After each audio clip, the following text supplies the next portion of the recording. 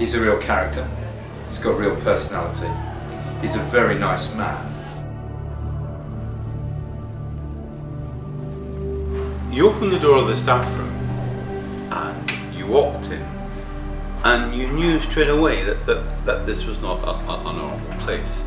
Because there were some interesting characters in the staff room at that time. But one person stood out and that was this, this, this bearded chap. He, he takes care of people and he played that role in the staff room that he made people feel good and looked after them when they were having a hard time. Um, there was a time um, uh, in the late Jurassic when he, he temporarily didn't work here. But since then, through the Cretaceous and up, up to, to recent Quaternary times, he seems to have worked here um, probably since time began, if not before. He always argued with me that we should continue to make Rodwell a place which wasn't just about learning and results and exams, but was a place where people could develop other interests outside the classroom and, and away from the school and he believed really passionately in that. So things like DofE and Activities Week and Cow Shop, he believed that you could learn as much there as you could in the classroom.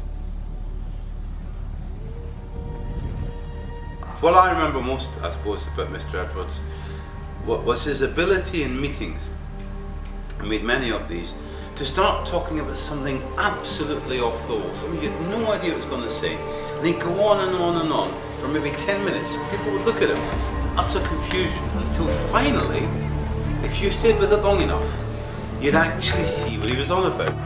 And it took him a bit of time, like a huge cruise ship, just sort of sailing into berth in the dock the wrong way around. But once he turned the ship round, you kind of got what he was on about. So that's what I remember most about him. His amazing strategy at talking utter nonsense in meetings. He often made you want to go and find something out or to do something for yourself. Well, I think I think more than anything else, he, he brought he, he, panache. You know, some teachers walk to school, like me. Some teachers drive in a very normal car to school, but only one teacher roared up that drive in a flashy sports car and owns, you know, when I think of somebody owning a boat, I kind of think about a rowing boat, something you might go fishing on, something with a hole in it, a couple of oars. So, no, Mr. Edwards has, has a yacht, a posh yacht, with uh, so long in fact that it probably takes you a couple of weeks to walk from the front to the back of it. What I'm told. That is posh. So you brought a certain class, a certain sort of style, a certain je ne sais quoi.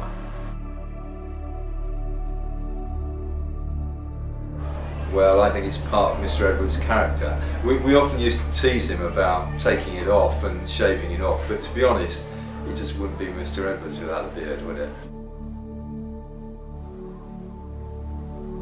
So here, here's, here's my instant Mr. Edwards beard. It's rather than one word, let's just have it in one image. Here is Mr. Edwards.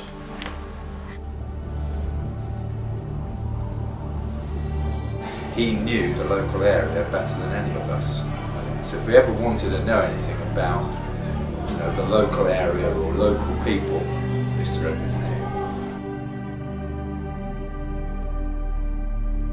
But you talk to Mr. Edwards, and I always felt it was like um, was like being being in sort of a time warp, because you start talking to Mr. Edwards about something at say five to four, and you'd have things you'd have got to do, but suddenly, don't know how it happened, it would suddenly be sort of quarter past eight, and whatever you had to do, there's no point in doing it because you'd missed it. Whatever problems you had, you'd forgotten them so long ago in the conversation that, well, they weren't any problem anymore. You'd walk away with a completely um, empty head, uh, and four hours would have gone past like that. So he was a Time Lord.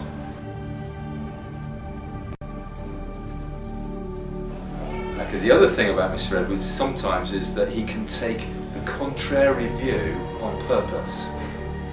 And sometimes that made managing meetings quite difficult, but they were always interesting.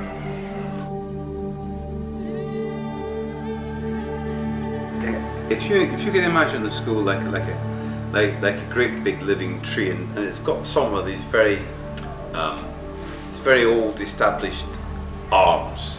It's a bit like having one of them cut off. The place isn't the same. You take somebody who's so much part of Rodborough out of Rodborough and, and put them out to, to grass, I suppose, in the, the great big retirement field of life. Uh, the school isn't the same. Definitely not the same. So, you know, we've, we've lost and the outside world has gained.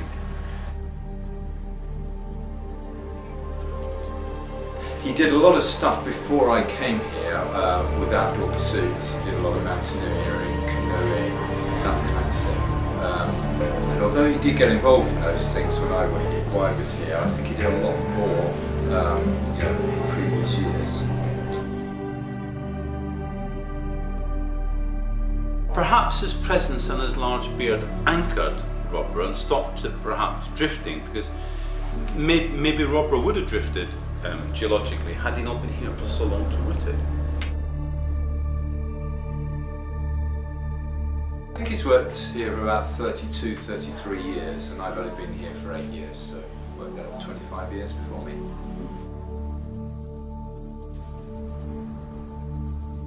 I've seen pictures of, of Mr. Edwards when he was young, and you'd think that, you know, you look at baby pictures of somebody, they'd look a bit different, but he didn't. Uh, I, I, I, as a six month old, his beard was probably just out to there, but as he grew, uh, the beard stayed with him. I've never seen a picture. One of, one of the things we'd like to do, perhaps, and perhaps only after he's long gone could some sort of medical examiner, some forensic lab possibly do it, is, is find out if he's got a chin because no one's ever seen it. It's, it's like, you know, it's like a, um, parts of the universe are still undiscovered. Has he got a chin? Don't know. The one thing I can tell you about his beard is it used to be black.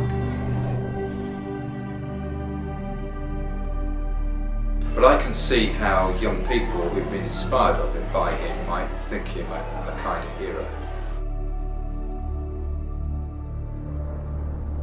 You meet people and they say, who do you remember from school? People have been left school 15 years ago. They always go, oh yeah, I remember, I remember Edwards. And surely the whole point of school and teachers is to have characters you remember. You know, otherwise what's the point? And I think to, to, to hundreds, if not thousands of people who went through Rodborough during the time he was here, he was a hero and a character. And that's what education needs. He was a hero and a character. He is a kind of hero.